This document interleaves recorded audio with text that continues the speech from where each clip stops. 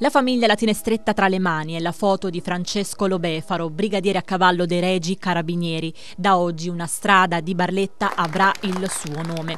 Sono trascorsi 80 anni da quel 21 dicembre del 1942, quando il barlettano perse la vita sul campo di battaglia a Mitrofanosca, all'epoca fronte russo. Non voltò le spalle ai suoi compagni, come ha raccontato il comandante provinciale BAT dell'Arma dei Carabinieri, colonnello Alessandro Andrei.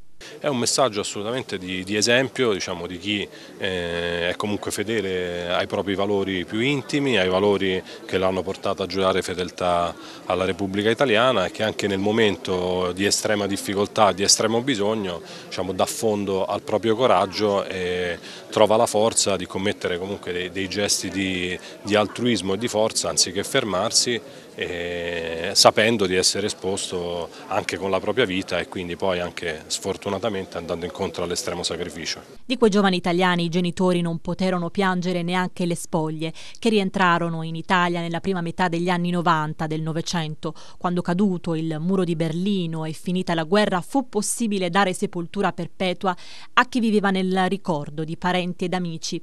A ricordare Francesco Lobefaro tutta la famiglia Sinigaglia, come la signora Marisa, cugina di primo grado, figlio unico. La madre non smise mai di piangerlo, fu in lutto fino a quando si ricongiunse con lui. Morto addirittura 80 anni fa è riportato a Barletta dopo che la mamma non c'è più. La mamma aveva soltanto 48 anni.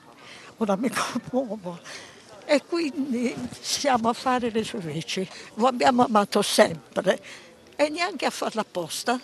Era, è morto nella zona di guerra odierna, una guerra che noi non condividiamo e quindi ci addolora ancora di più questa morte inutile. Per i fatti d'arme gli viene conferita la croce di guerra al valor militare con la seguente motivazione.